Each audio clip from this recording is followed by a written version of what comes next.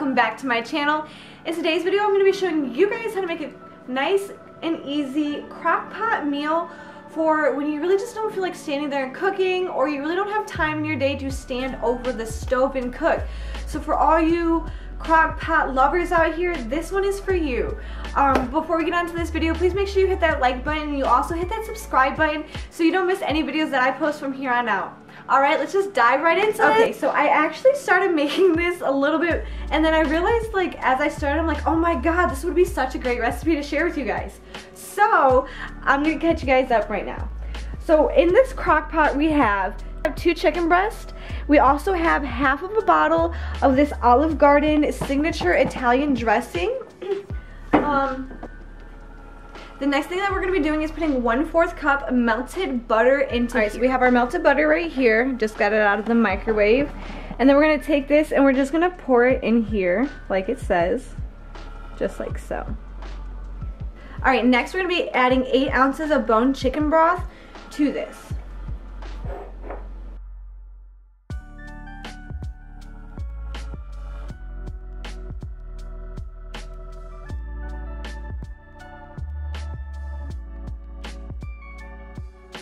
All right, now we're gonna add in some Parmesan cheese to this. I have a three blend grated cheese.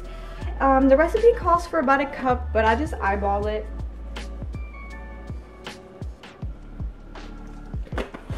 All right, that is there. Actually, I'm just gonna boom and then leave a little bit left over in here so I can add it to the top of the pasta when we're serving it. And now we're also gonna go in and we're gonna add some pepper to this some ground black pepper. And we're just gonna sprinkle to our liking. Each uh, person likes pepper differently, but you know, your girl is about to season this up because this is gonna be a big dish. It's gonna have a lot of pasta and everything in it. So we're gonna really need that pepper to be incorporated throughout the whole dish. I might even add to add a little bit more while it's cooking because I don't think that's gonna be enough. Um, now we're gonna take our eight ounce block of cream cheese and we're gonna cube it and add it to here. Um, I'm cubing it because it just melts better in the recipe. I've tried it both ways and I found cubing it is just definitely the way to go.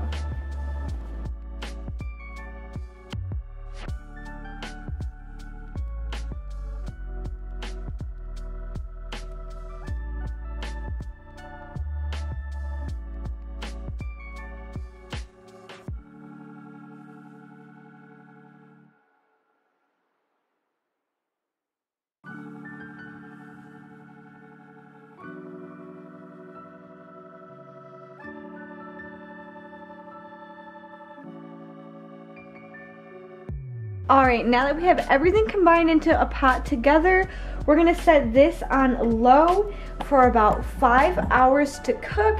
And we're to add our lid to it as well. When there's about 15 minutes or so left on this, that is when I'm to start my pot of pasta. So I will catch you guys back when it is time for that. Alright, now we're back after about the five and a half hour mark because it did say cook it for five to six hours. Um, and so after that, the chicken should be nice and tender and done. So all you're gonna do is start taking two forks and you're gonna shred the chicken up into shredded chicken.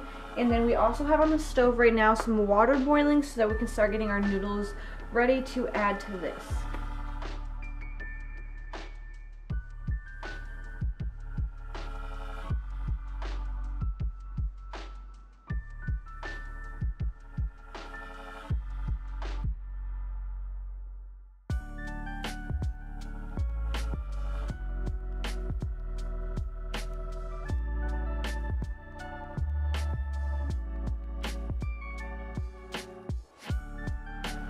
Alright, after you're done shredding the chicken, it should look like this. The consistency of it should be nice and thick and creamy. Um, I think I'm going to add a little bit more cheese though because I want it to be a little bit thicker than what it is. But you can always add it to your preference. Alright, now we're going to get the pasta in the water because it is boiling. And then we'll be back once it's done.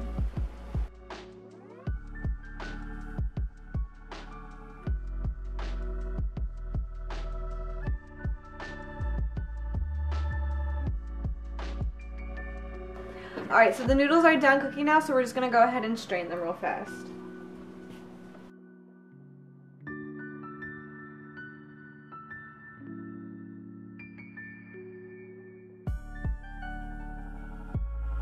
Once you're done straining them, then you're just going to take the noodles and add them to your crock pot and mix it all together.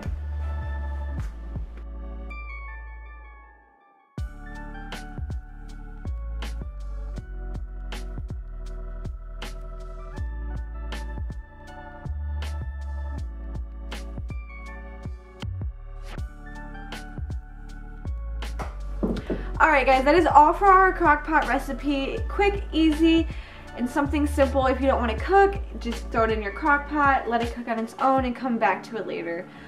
So if you guys do end up making this recipe, make sure you tag me in it or let me know. I would love to see you guys making this recipe as well. I do really love it for the cold seasons and just in general, I am definitely a pasta lover.